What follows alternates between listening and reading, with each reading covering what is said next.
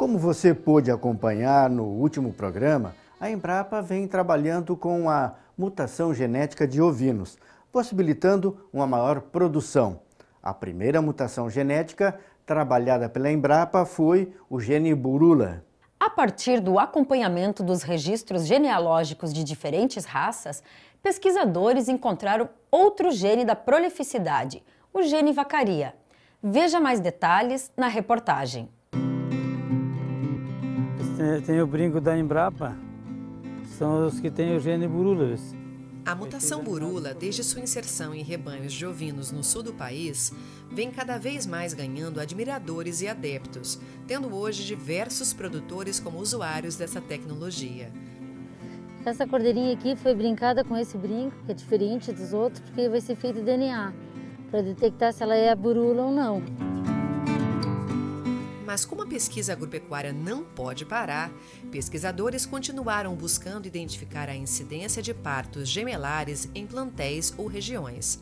Para isso, passaram a acompanhar os registros genealógicos de diferentes raças comerciais criadas no sul do país. Os registros realizados pela ARCO foram uma fonte importante para o andamento da pesquisa. Nesse trabalho de prospecção, os pesquisadores verificaram que na região de Vacaria havia vários registros de partos múltiplos em ovinos da raça Ile-de-France. Após a coleta de sangue de animais dessas propriedades e de estudos laboratoriais, foi identificada novamente uma mutação genética que aumentava a prolificidade nessa raça, sendo batizada de vacaria. A, a, introdução da mutação vacaria no rebanho experimental da Embrapa teve basicamente duas finalidades. Uma de comprovar a, a taxa de gemelaridade das ovelhas heterozigotas, que é em torno de, em torno de 60% da, das ovelhas heterozigotas dão partos duplos, e é, permitir que a gente tivesse a disponibilidade de fêmeas homozigotas para estudar a performance reprodutiva dessas fêmeas, que a gente imaginava que fossem estéreis, mas que eh, antes de se fazer uma recomendação definitiva do uso da tecnologia, era importante que esses animais fossem estudados. Por volta de 2010, nós descobrimos na nossa propriedade o gene vacaria. Desde então, a gente vem selecionando esses animais, o que tem nos dado um alto índice de prolificidade e também vem agregando muito valor nos reprodutores que se vende contendo esta, este gene. Para nós foi muito importante o gene, porque se conseguiu um maior número de cordeiros com o mesmo número de ovelhas, sem aumentar a quantidade de matrizes. Isso é muito importante para quem trabalha com, em áreas pequenas. Pode-se ter maior ganho com o número de cordeiros. É um trabalho que vem sendo realizado há praticamente sete anos e só tem nos dado gratificação. Atualmente, a Embrapa proporciona aos produtores da raça Ile-de-France a identificação de animais portadores da mutação, contribuindo para sua disseminação. A Associação Brasileira de Criadores de Ovinos, ARCO, está, inclusive, inserindo essa informação nos registros dos carneiros portadores da genética, dando maior garantia para quem deseja acessá-la. As informações dos genes de prolificidade, vacaria, borula e embrapa na raça santenês já estão contemplados dentro do registro genealógico da ARCO. E o criador, no momento em que ele quiser observar, ele vai encontrar nos dados individuais de cada produto se este produto tem ou não o gene de prolificidade.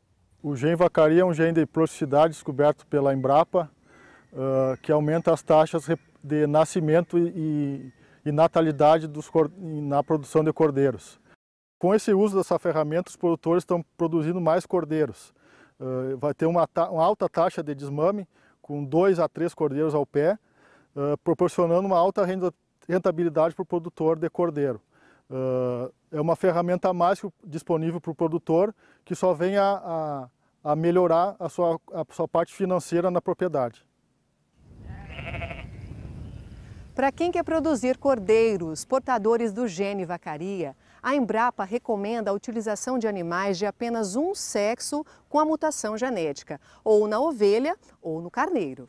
Esses genes de prolificidade podem ser introduzidos em rebanhos que não possuem o gene através de carneiros portadores ou mesmo de ovelhas. O sistema mais eficiente e mais rápido pelo número de filhos que cada carneiro deixa a cada ano é o, é o prioritariamente indicado.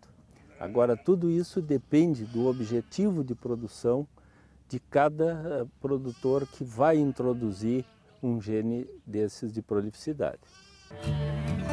319.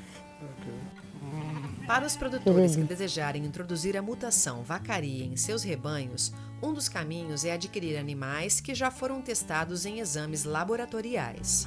Os produtores interessados em introduzir essas mutações nos seus rebanhos podem fazê-lo de forma muito simples, que é introduzindo é, carneiros portadores nos seus rebanhos.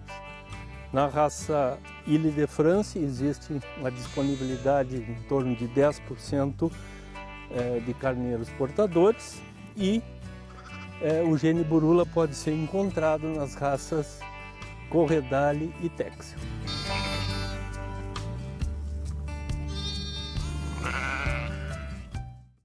E para você aí que ficou interessado em desenvolver na sua propriedade a genética da prolificidade em ovinos, confira a última reportagem da série no próximo programa.